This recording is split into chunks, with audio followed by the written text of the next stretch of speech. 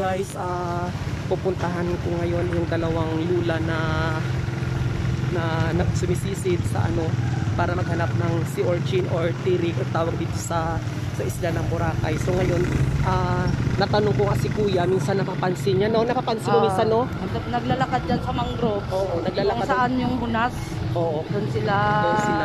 pupunta, maghanap ng kirek. Oo. So ngayon, pupuntahan namin sana nandoon sila sa bahay nila para i-update ang status ng buhay nila. Yun lang. So see you guys mamaya. Guys, anyway guys, nandito si Nanay. Yung kung napansin nyo, ito yung inilabas sa ano sa Jessica Soho no, itong Sunday lang. So ngayon nandito tayo ngayon para makita yung bahay ni Nanay. Ah, ni, ni Lula pala. O sige la, punta tayo doon. Saan yung bahay mo? So, Ayan, dito yung bahay niya. Ayan. Actually, inilabas siya sa, sa Jessica Soho. Wala talaga wala Ng? kami ng kuryente. Kaya madilim talaga sa loob. Ay, kailan pa kayo naputulan? Ah, siguro mga 5 years. Ah, so ito yung bahay mo.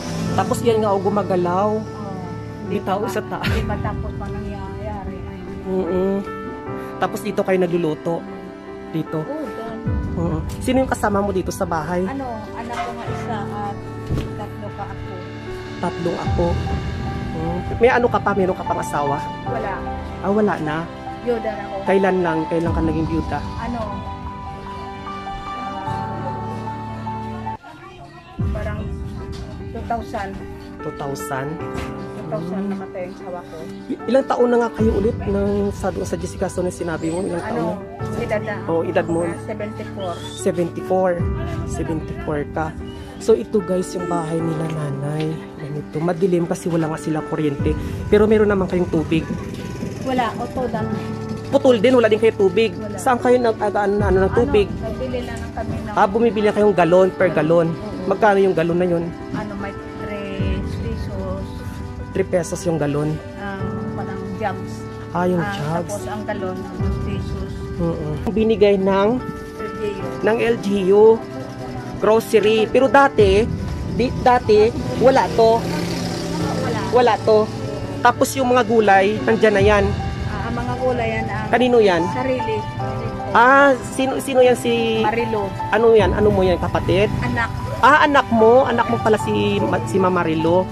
Ah, okay. Tapos ikaw ang sipag-sipag mo, no? Kasi kahit 74 years old ka na, nag-ano ka pa rin, nagsisisid ka pa rin para maka- makatulong ka sa mga anak mo. Mm. Napak para mag Tapos magkano yung per baso ng Ano, 50 lang. 50 pesos? Oh. Kaya naitanong ko, actually hindi ko pa napanood sa Jessica Soho. Hindi ko pa napanood kagabi. Nakita ko lang sa, sa, sa Facebook. Kaya natanong ko ngayon ulit guys kung magkano ang per baso. So 50 pesos yung baso. Ha? Ano naman, naubos naman. Nakailang baso kayo? Halimbawa, pag pumunta kayo sa beachfront, Ang, ah, sa, sa Bulabog Beach. marami namin na nakuha ang mga tire. Oo. Ano, pag dalawang sako, Oo. ay isang baso ulat kalahati yan. Oo. Kasi mga payat pa na ng laman. Oo. Isang sako, Oo. tapos ma-tapos namin na ano, biak. Oo.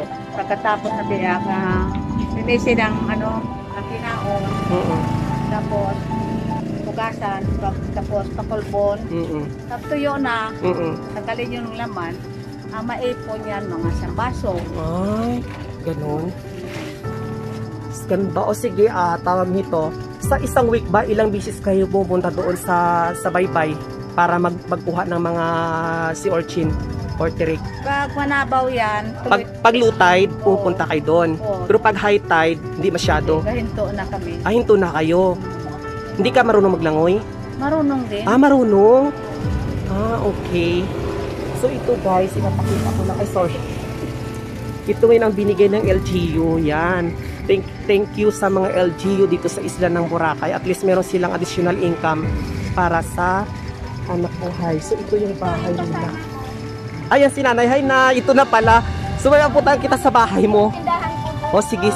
Okay, so ito yung bahay ni nanay. So kapag nakikita nyo naman, ano siya, bali, hindi pa siya tapos sa kasira-sira na. Ano na siya nang hindi na siya matibay. Tayo pala lahat, pati kasama yung mga anak mo. bahay na yan sa ano, lapit baybay. Oo.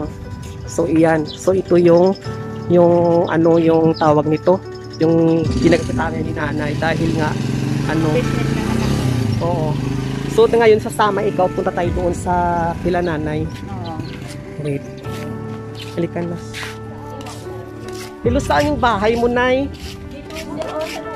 Ito si nanay, yung Doon sa bahay ng anak ko lang. nanay Liz. Pero yung bahay mo, da- nasaan talaga? Doon sa looban kasi ano, ma- tago yung tao kasi doon. Ah, walang tao. Eh dito marami. Eh, yung mga tindahan ng anak ko. Pero kahapon. So guys, ito yung ba, yung ito yung.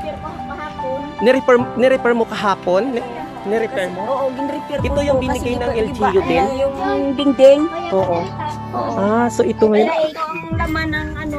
ito yung laman. Ay, papasok tayo. ng ibang paninda. lang, nakita ni Luisa 64. Oo. So ito yung binig... Pinagdadal ko lang ng ibang paninda, yung binigay sa amin na 3,000. Oo. Ito yung binigay ng LGU. So binili, binili nila ng mga grocery at least meron silang ah, hanap buhay kahit papaano. So iyan. O diba guys? Ano nga yung name mo, Nay? La? Isa Gumbok, Luisa. 64 years 64 old. years old. Okay. So paano kayo na ano sa Jessica So Ah, may nag-picture sa amin, hindi ko lang ano. in-interview kayo ng Jessica So? pero- Opo, Tinawagan kayo? opo. Ah, very good. Ano? Ito, bahay ito na, ito Ng ng, anak mo? anak ko. Oo. Ito. Tapos, yung bahay ko talaga, doon banda sa looban. Malayo? Malayo-layo. Pwede lahat nating lakarin? O, pwede. O sige, ito yung bahay ng ano niya. Tapos Yung malapit ko, ito. malapit din sila sa, sa ano sa baybay. Ayan. Pero gusto ko makita yung bahay mo talaga. Ito, nagtatakal ako ng bigas na ibang Ah. labas doon. So sa LGU din ang mga bigas na yan. Oo. Ay guys, sa LGU din yung bigas papasok ako ha. Mm-mm. Ayan, ito yung mga bigas na ibinigay ng LGU at maraming salamat sa mga LGU ng Boracay. You're the Sa best, guys. Oo. Punta kami ngayon sa bahay ni nanay talaga. Pupuntahan namin. Let's go. Samahan natin para makita yung bahay ni, ni nanay. Ito yung bahay ni nanay na actually ah, ipinagawa daw ito ng ng foreigner sa kanya pero kaso namatay na yung foreigner. So ngayon hindi hindi natapos. Ito si nanay. So iyan ang bahay. Mm-mm. Na ipinano ano sabi mo? Pinag Ang pagkasabi ko, Oo. ganito, Mm, yung foreigner na yon matanda na kasi siya. mm, Ngayon, gusto niya may mag-alaga sa kanya. Oo. Ako ang inano niya. Oo. Parang parang kinakasama ko na siya sa buhay ko. Ganon Oo. ba? Eh, So- kasi eh, naalagaan ko siya. Oo. Tapos, naghanap siya ng lupa. Oo. Tapos, nag ano siya ng matirika ng bahay. Mm, Eh, hindi naman nagtagal yung pag-ano namin. Ah, Pagsasama, dahil- namatay siya. Namatay. Siya kailan siya namatay? Oo. Ah, ano lang, 2016. Oo, so ito yung bahay ni, ni, ni Lula, ni Lula. Luisa, O ni nanay. Luisa. Ay itong mga gamit ng mga anak ko. Yan ang bahay niya. dimulis yan noon. Mm. Kaya mga gamit ng anak ko yan na dimulis yan doon sa Mm. kabila.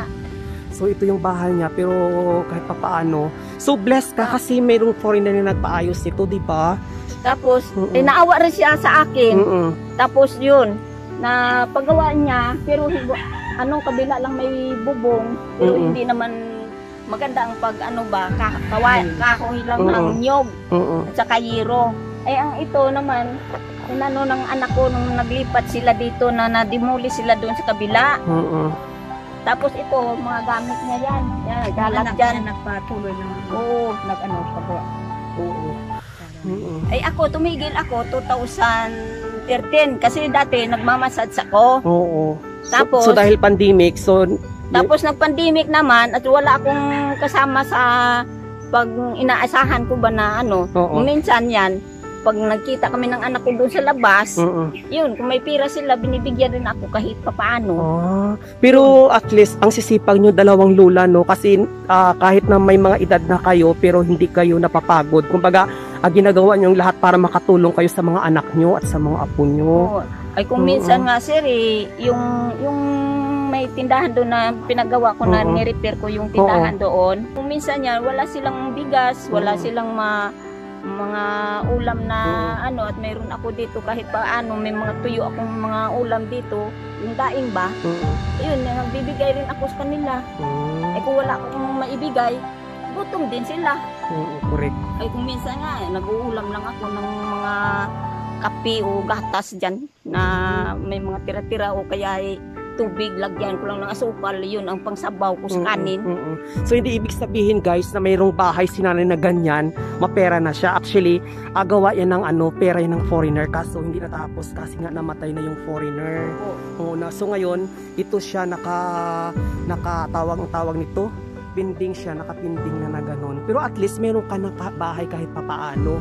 Unti-unti na lang, no? Opo. Mag-pray lang kay God na malay mo, may pera na dumating, no? Kaya lang po sir, Mm-mm, mm-mm, ganito naman, mm-mm. ito kasi madaanan ng kuryente dito. Ah, madaanan. Madaanan ay gitna po ang bahay ko. Ay, sirain. Oo. Kaya So, pag- hindi ko alam kung magkano ang ibigay sa amin. Ay, madadaanan ito ng kuryente. Mm. So, yun lang. Magigiba rin ito. Magigiba din. Mm. So, ang bahay pala to, useless lang kasi magigiba din siya. Opo. Dahil, ah, kasi i-ano dito, itawag nito, may gagawing... Oo. Kasi ang sabi sa amin yung surveyor, kailangan daw, at saka yung taga-DNR, Mm. sabi daw eh, wala talagang bahay dito sa ilalim na Pero malay, ng pero kuryente. malay mo, ma, mag-iba yung, yung ano, yung, yung plano ba? Ang nagawa na lang. Ikaw din gumawa niyan? Wow, sipag ni, ni Lula pala. So, ito, saan ka kumukuha ng mga kahoy? Sa bundok. Sa bundok. Ikaw din nangunguha doon. Kasama mo si nanay. Yan. Kasama ka? Oh, kasama kami yan. Oh, Kami, lagi okay. yan dalawa. O Ah, kasama. ganun. So ang sisipag ni ang sisipag ng mga lula guys, napakaswerte talaga ng mga apo nyo saka mga anak nyo kasi hindi kayo tumitigil sa pagtatrabaho. Grabe. Oo. So hindi ka na yung umiinom. Oo, hindi ko talaga na umiinom ng mga alak. Oo. Very good. Lahat ng may masama sa ano, mga Oo. magsisigarilyo. Oo. Wala, wala ko talagang bisyo. Hanap Mm. buhay lang. Kaya pala ang lakas-lakas mo. 74 ka, di ba? Oo, Tapos 74. ito 60, 64. 64 and 74. Ano bali magkaibigan na talaga kayong dalawa? Pamangkin. Ah, mag, Magjahin ko to kasi mag ano sila ni tatay magpinsan. ah magka-relatives din pala silang dalawa. Akala ko kasi magkaibigan or kabitbahay lang kayo. Hmm, okay. Family. Family. Mo? Yung anak ko, labing dalawa, naman, yung apat doon sa Romblon Tablas. Mm. Yung walo, dito rin sa Boracay. Lahat yan, mga hirap talaga. Mm. Sabi sa'yo, Sa akin sir eh ano apat. apat. Yung isa doon sa Maynila tapos ang tatlo dito. Yung isa walang trabaho yun doon. Pero taga dito kayo sa Boracay, hindi? Opo, tabong Boracay. Boracay okay, talaga taga kami dito sir. talaga sila. Wala bahay mo? Akala ko kasi bahay ni... Ah, tapos yung, yung bahay talaga pala ni nanay, ito. Yung sa taas na yan. Ah, iyan. Yan yung bahay niya talaga ganyan. Tapos ito, bahay ng anak niya pala. Hmm. Diyan siya nakatira sa'yo. Basta kaya lang ha, laban lang. Ah, importante wala tayong sakit. No? Wala lang sakit kasi maanhin mo naman na maraming pera pero may sakit naman. Pero na kami may an, na Oo. babad sa ano, sa dagat, Oo. nagsisil ng Kaya at saka ano, Napapagod pa rin eh. oo, napapagano talaga ang buhay pero sa laban lang ha. Yun nga rin ang sabi ko sa mga senior citizen. Sabi ko, huwag kayong mag-isip ng kayo ay mahina. Oo. Maglaban tayo Correct. kasi tayo na matanda na. Oo. Kasi Si- pag walang trabaho po Magpalakas sila, tayo. mahina yung katawan. Pero alam mo, ah, ang swerte nyo kasi ang sipag-sipag ni nanay talaga ni Lola. No, swerte-swerte. Kumusta ka lang makahanap ng ganyan? Na nag-iisip na, ay, matanan ako kayo na bahala sa akin dapat. Ganun. Pinapakaswerte nyo. At magpasalamat din tayo sa LGU ng, ng Boracay. Kaya tabi na, napansin ba kayo? Nagbigay sila ng tulong. Di ba malaking bagay na yan? Yun na lang Oo. namin, tinda-tinda. oh. Mm-mm. Tapos huwag kayo tigil kung kaya nyo pa rin kumuha ng tirik. Go lang. I-enjoy nyo lang. I-enjoy nyo lang. Kumbaga huwag nyo isipin yung pagod. Oo. Enjoy nyo lang. Namin yan, sir. Oo. Pag mayroon na tutulong sa amin daw na magawa ng business, Mm. hinto na kami magsisid ng direct. Sabi ko. Pero hindi naman ganun kasi sa ngayon pandemic sa Boracay, kunti pa lang yung tao. Okay lang sana kung malak- malaki yung income every day, 'di ba? Tapos yun lang. At saka mag-ingat kayo lagi ha. Oo. Naranasan namin yun. Mm. Gabi-gabi na kami Gabi? aalis doon sa ano. Sa Tirikan, Tirikan. mga city kami pa. Nakaalis Mm. doon, Galakad na ka, uwi. Hindi nakaka-inspire lang kasi kasi ang tatanda nyo na kumbaga may mga edad na kayo pero goal, la, kaya pa ba? Kaya pa sa ganung gawain? Oo, ganun lang. So guys, yan po. At saka, ah, see you on my next vlog. May part 2 ito guys, sa may part 2.